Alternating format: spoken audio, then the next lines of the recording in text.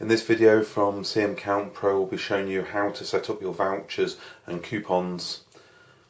Simply first you'll need to go into supervisor mode. Press and hold down the coin and note button while keeping it pressed down hold on the power button. This will put the machine into supervisor menu.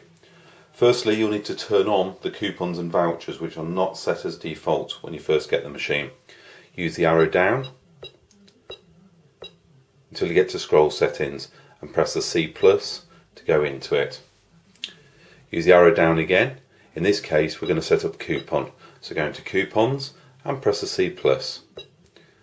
Choose the currency, GBP, and here you can see that the coupon 1 is set to auto. If you want to change this, CP1 is now off, which would turn the coupon off. Manual means that you have to highlight it manually for it to work and auto means it will put it into the automatic scrolling menus in standard use.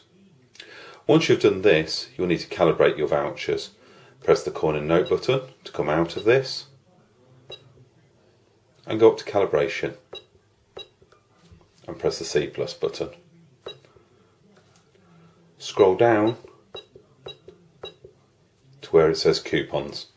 Once you're in this, press the C plus button. Again, select the currency and you should find that the machine will ask you to put a sample 100 of your coupons on. If this was doing it for tokens, you'd also be asked to put the scoop on. Take your sample coupons and place exactly 100 of them, which almost weigh the same, on top of the scoop. The machine will weigh these, and once it's completed, will beep.